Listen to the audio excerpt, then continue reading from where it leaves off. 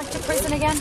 Would I gladly go back to prison? As far as I'm concerned, prison is like heaven compared to being outside the Shannon and having to witness what's going on there. It is a disgrace. It is, if we don't do something about it, we are complicit with murder, we are complicit with assassinations, we are complicit with war, we are the, complicit with the destruction of the human race. Were you surprised you didn't get out any earlier on compassionate grounds? Well, why should why should Enda Kenny feel any compassion for me? Does he feel compassion for anyone else? No, he doesn't. Here. Was it difficult? How is your health at the moment?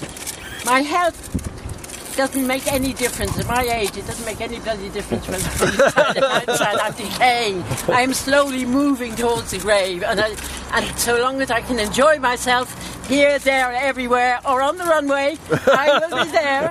Margaretta, have you not been rehabilitated in prison? I certainly have been rehabilitated. As they said to me when I was going out, if you get rid of Shatter, next time I go in, I'm going to run the jail.